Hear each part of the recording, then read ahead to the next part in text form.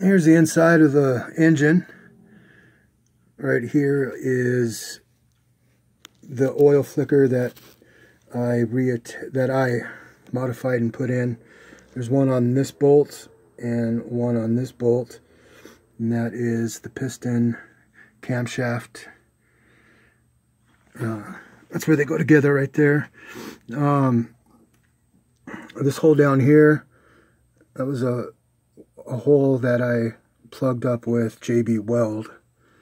That hole was one that drained um, drained from the camshaft or the uh, the crankshaft up here. I'm sorry, the the valves. Let's see. You know, I'm not really a motor guy. I'm just doing this to. I want to build a goat cart, or I am building a goat cart for my daughter. She's 11. Um, let's see. Everything looks good in here. I took it apart because as you can see, this is the way it sits. And here's the oil fill. So I didn't need to plug this up. A lot of videos that I've seen, they plug this up with JB Weld or some other way and then drill another hole um, in a different spot to fill up. And drain the oil. Well, luckily I, mine sits in a position where I don't need to do that.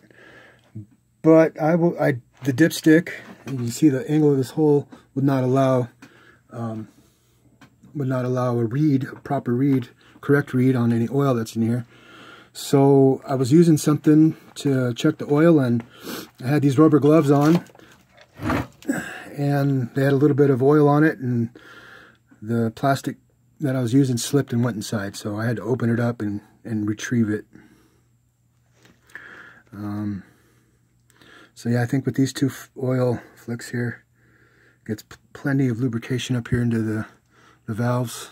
Um, I haven't opened it up from the top, but when I did open it up, it looks very, very well lubricated in there.